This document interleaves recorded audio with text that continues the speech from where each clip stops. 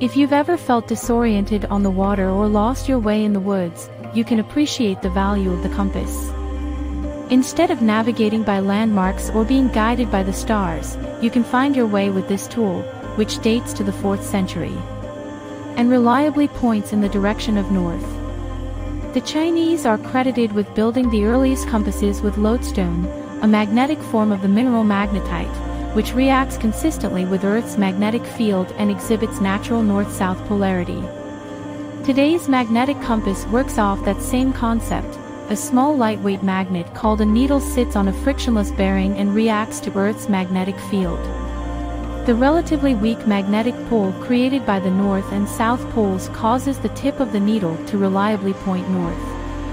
It works because scientists theorize that there is a magnetic core consisting mostly of molten iron at the center of our planet. This core creates radiating convection heat that moves in a rotational pattern as Earth turns on its axis, producing a low-level magnetic field. The theory, however, has not yet been proven definitively.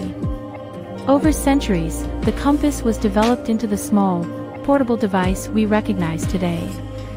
Small as it is, its impact on history has been invaluable. Since the most efficient way to move goods and supplies was over water, being able to safely and accurately navigate allowed countries to generate wealth through trade. In addition, seafarers were able to explore increasingly distant shores, learn new cultures, and establish colonies.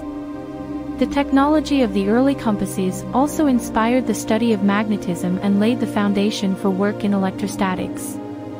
And resulting discoveries in electromagnetism opened the door wide for telecommunications.